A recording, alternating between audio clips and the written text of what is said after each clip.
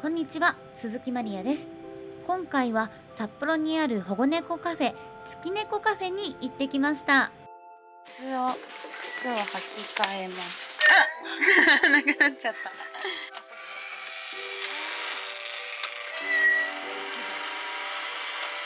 いや可愛い。どっちにします。カリカリが。チュールではいまあ今から1時間なので、はい。4時50分とかまででお願いします。ははい。あの人間のエイズみたいな感じで、まあ、猫にもエイズがありまご病気なんですか？すそうですね。でまあ人に移ったりしないので、安心して触ってください。はい。あそうだった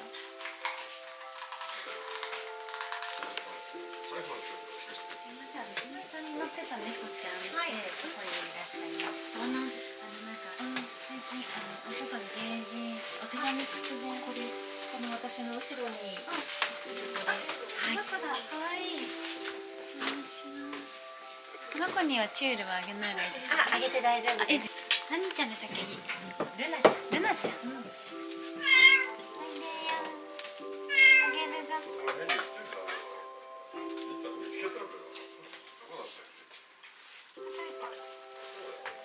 あ。まり夢中になってる感じはな。い。可愛い。ん？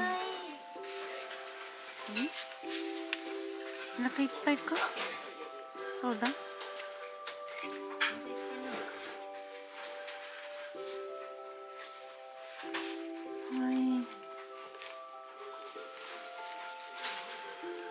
猫様。タンちゃん。うん。目目がビーズロみたいだね。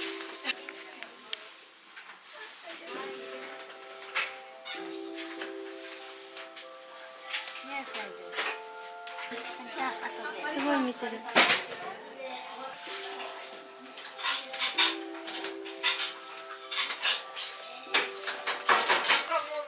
ルナちゃん。ど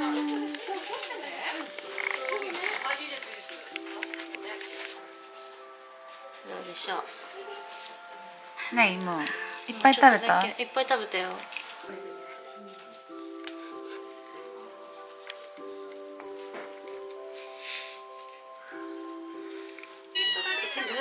それは一シラミがいたんだってそうなんだ。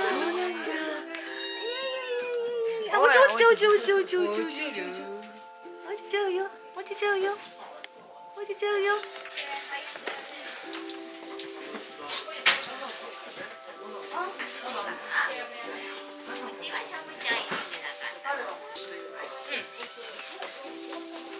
もうありがとうございますなんちゃん遊ばないよねもう人が多すぎてもう今日取っちゃってびっくりしちゃったびっくりして